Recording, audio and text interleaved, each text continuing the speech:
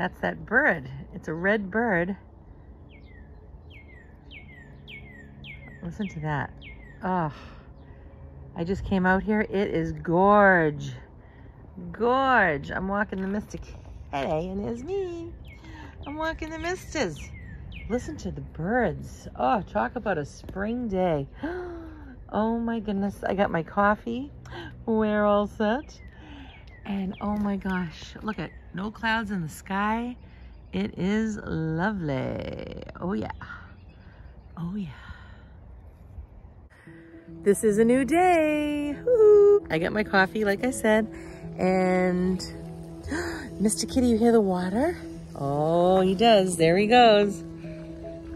He hears the water going through the sump pump. Oh, but it is so nice out. Oh, can I tell you right now?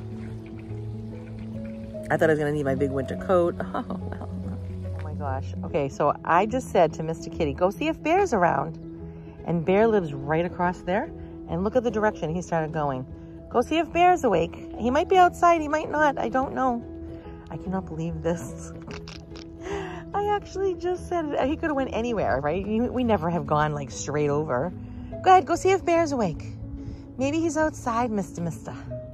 Oh, good morning. Look at this animal. Look at this wild beast. Oh my goodness.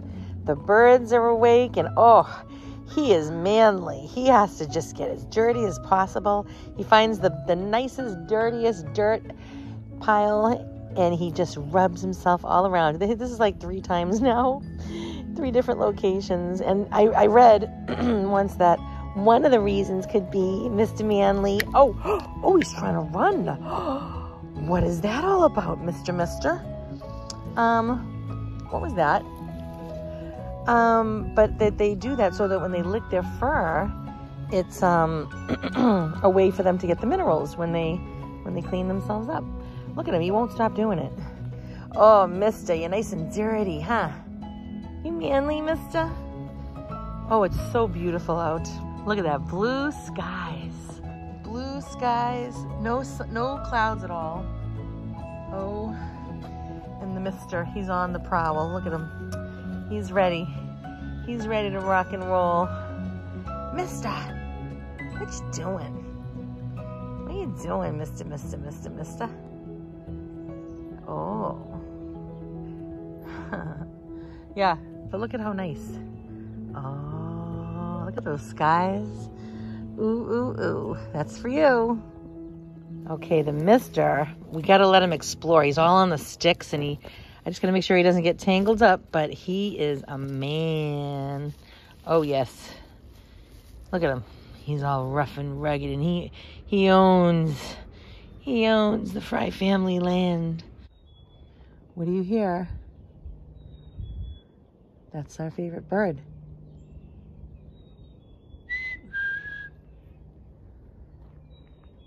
Hear that?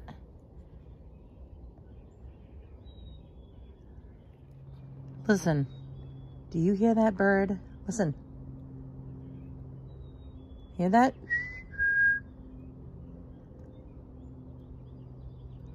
Come on. He was just doing it. I don't know if you heard that. That's my favorite bird. There he is. It's, yep, it's my favorite bird sound. I think it's a chickadee. There he is. I love that.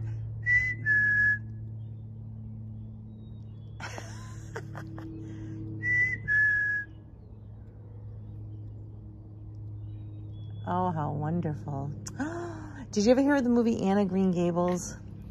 Well, um, the real movie, not that sitcom. Well, anyway, in the real movie, you hear that bird all the way through. It's wonderful. Oh, yeah. So there has been a holy miracle in my life right now. So the first thing I'm going to do is go and thank God.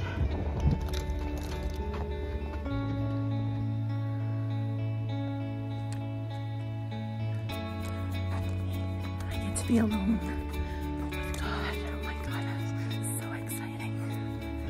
Oh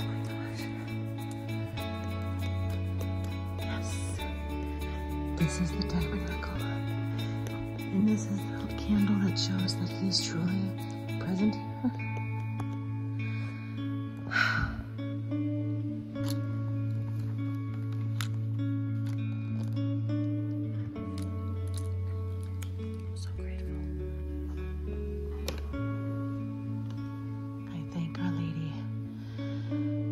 as well.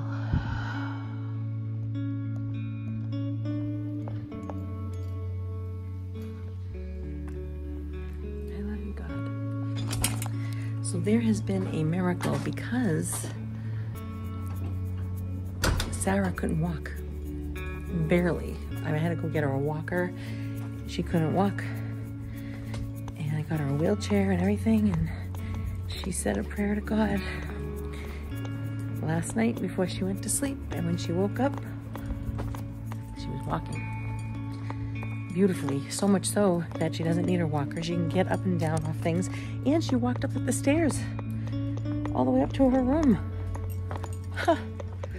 Oh, so this is where I always go to say a prayer for Mr. Fry, even when he was alive, and all the men in my life that have passed away and that are still alive. And I always say, Hail Mary, full of grace, the Lord is with thee. Blessed art thou among women, and blessed is the fruit of thy womb, Jesus. Holy Mary, Mother of God, pray for us sinners, now and at the hour of our death. Amen. Oh, so excited. Oh. So it only is proper to go and say to our Lord and visit him. I mean, I know everybody's working in school, but how often is our Lord alone and no one to visit him? So if you get that time, visit a local Catholic church, even if you're not Catholic.